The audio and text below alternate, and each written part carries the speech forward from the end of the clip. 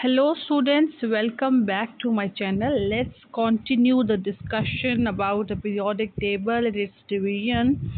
As we already discussed that periodic table elements are divided into groups, periods, blocks.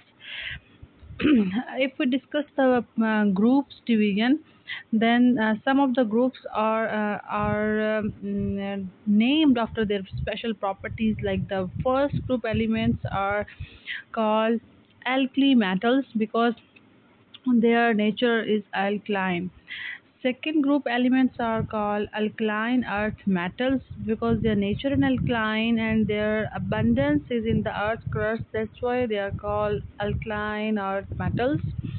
And the six group elements or 16 group elements are called oxygen family and they're also called chalcogens because of their because of their name after uh, copper that is chalcos old name of copper.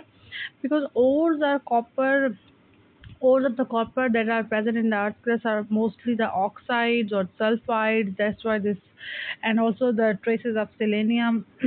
And that's why they are called oxygen family or chalcogens and the 17 group elements or, or 7 group elements are called hal halogens because of their uh, halides salt forming nature and these 8 group or 18 group elements are called noble gases because of their nobility and non-reactive nature.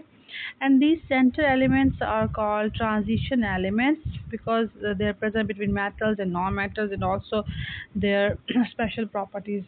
And last these two periods are specially named as lanthanum and uh, actinum as because of the first element that is lanthanide lanthanum and then this is and second is actinium. After lanthanum they are called lanthanide and after actinium they are called actinide. These two periods are specially named after these two elements. And another category of uh, division is uh, according to their reactivity as if they are metals or non-metals.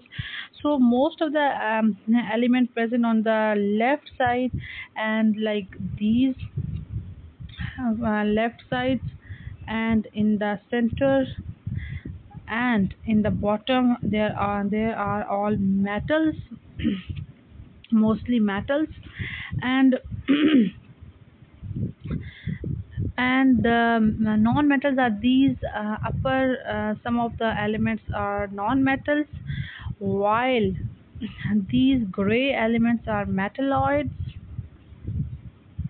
according to their reactivity that these are these are uh, they are metalloid these are non-metals and mm, these are non-metals and this these are metal and the, uh, all other are metals these are metals these are metals and these are metals. So that's all for today. Thank you so much. Love